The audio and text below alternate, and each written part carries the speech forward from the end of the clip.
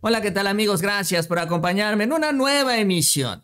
El Norma Piña y su decisión de proteger a Oriel Carmona, al fiscal de Morelos, ha provocado ya una confrontación abierta y directa entre las instituciones del Estado mexicano. Todo se está descomponiendo por culpa de estas acciones desde la Suprema Corte.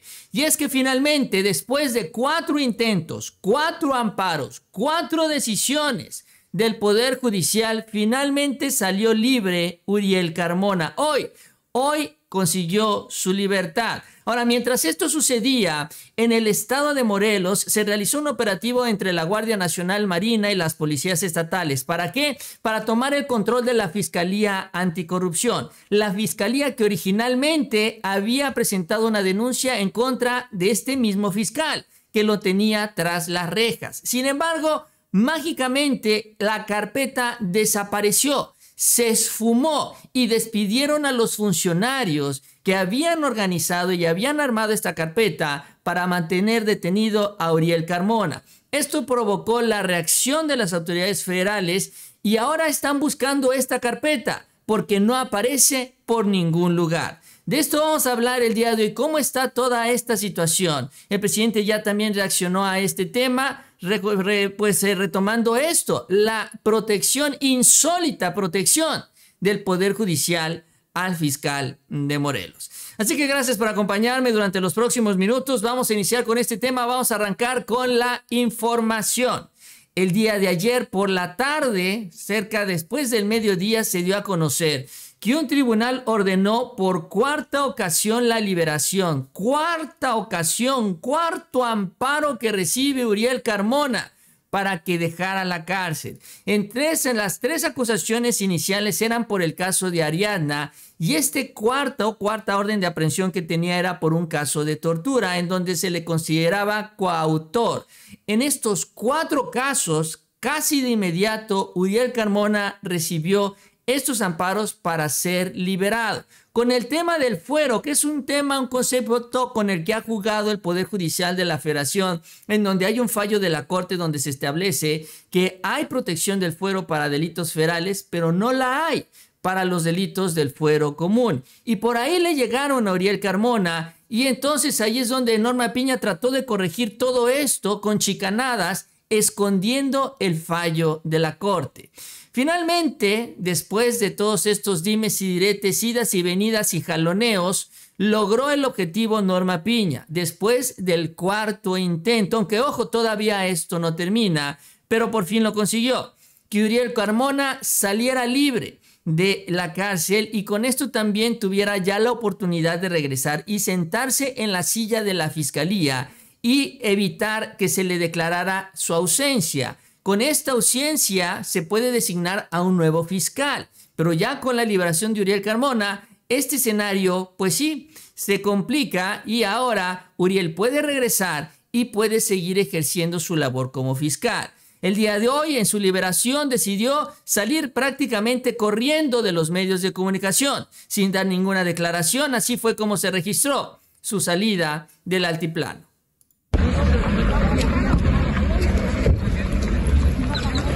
Señor, sus primeras palabras. Fiscal. Señor, sus primeras palabras. ¿Qué nos puede comentar de que salió libre? ¿A dónde va? ¿Va Morelos? Señor, ¿qué va a hacer? ¿Va a tomar alguna medida, señor Uriel?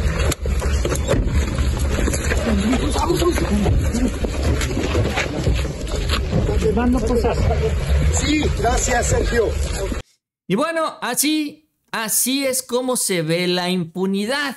Esta es una imagen clara de todo esto, la protección al poder del Poder Judicial de la Federación. Ahora, hay un asunto relevante en donde que finalmente a pesar de que él consigue su liberación, esto no significa que las investigaciones que hay en su contra se hayan detenido. Y es que esta es la parte que ahora va a entrar en juego después de la decisión que se dio por parte de este tribunal colegiado.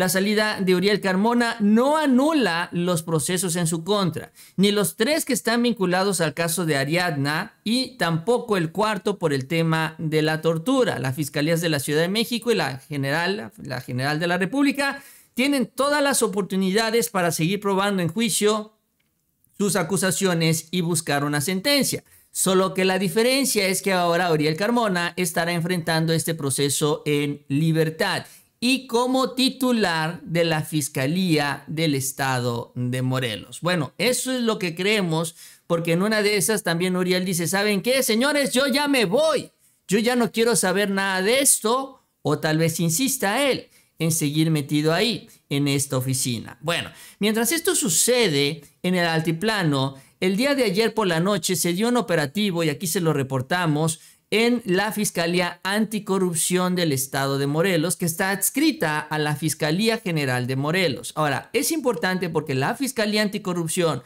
fue la que presentó la denuncia en contra de Uriel Carmona por este asunto de tortura. Sin embargo, como se dieron cuenta, la gente de Uriel Carmona que se habían metido hasta la cocina, despidieron a todos y se desapareció la carpeta y se echaron para atrás.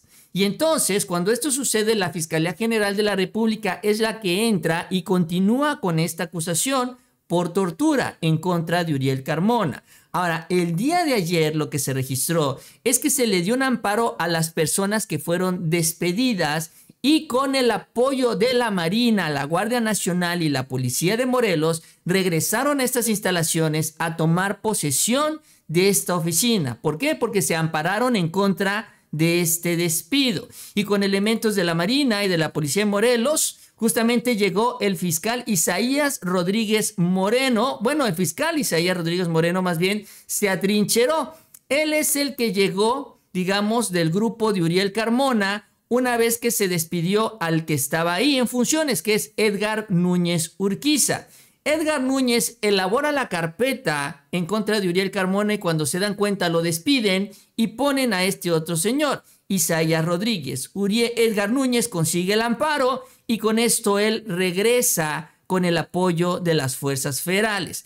Ahora, lo que sucedió es que quien estaba ahí en funciones, Isaías Rodríguez Moreno, se atrincheró no quería dejar entrar a las autoridades federales y mucho menos a Edgar Núñez para que tomara posesión una vez más de la oficina y empezaron con una serie de comunicados y justificaciones. Por ejemplo, este señor aseguró que el amparado, o sea, el fiscal despedido, Edgar Núñez, no, pues subrayó que sí, tiene este beneficio de la suspensión provisional, sin embargo dice que la eficacia de ese beneficio quedó condicionada a que no se hubiera materializado su remoción. Es decir, que dice él, la suspensión le servía antes de ser despedido, pero ya una vez que fue despedido, la suspensión ya no le sirve. Entonces, por eso él no quería dejar entrar a las autoridades federales. Por el otro lado, también dice, considerando que la remoción del licenciado Edgar Núñez eh, como fiscal anticorrupción dice, se materializó de manera previa, resulta incontrovertible que no tiene autoridad para seguirse ostentando como tal. Ese es el argumento.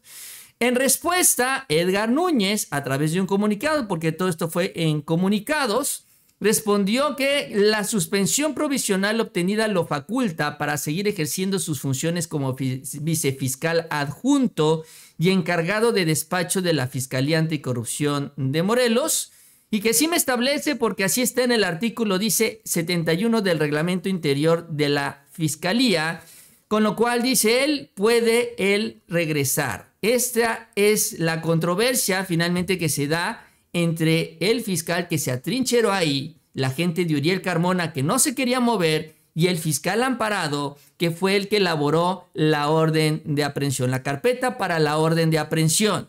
Ahora, lo interesante también en medio de todo esto no solo es este pleito que finalmente se está dando entre estos dos grupos para tener control de la Fiscalía Anticorrupción, que también significa parte del futuro legal de Uriel Carmona, sino que también en todo esto hay un dato importante, la carpeta de investigación. Porque lo que denunció este señor Edgar Núñez cuando llegó es que cuando empezaron a revisar la oficina después del operativo el día de ayer, la carpeta no está. No aparece la carpeta de investigación, se esfumó o la desapareció la gente de Uriel Carmona, la misma con la que se había hecho la denuncia en contra de Uriel Carmona y por lo cual salió la fiscalía en la audiencia y dijo, pues es que ya no tenemos la carpeta y con esto tuvo que entrar la Fiscalía General de la República. No está, no está la carpeta, que eso es lo que denuncia el día de ayer. Esto es lo que mencionó. Nosotros pues evidentemente la carpeta en mi oficina, tenemos pruebas, tenemos videos, tenemos declaraciones, hemos iniciado las acciones ante la Fiscalía General de la República respectivamente y evidentemente pues tenemos las pruebas de que la carpeta se encontraba dentro de mi propia oficina y que se la dejé a cargo de los elementos que iban a continuar el procedimiento respectivo. Entonces, pues nosotros vamos a seguir las acciones. He verificado con notario ingresado a las oficinas que, no se encuentra la carpeta de tortura. Se encuentran las copias que mi personal, bajo mis órdenes, tomaron, eh, hicieron las copias o realizaron las copias en la madrugada del día 14.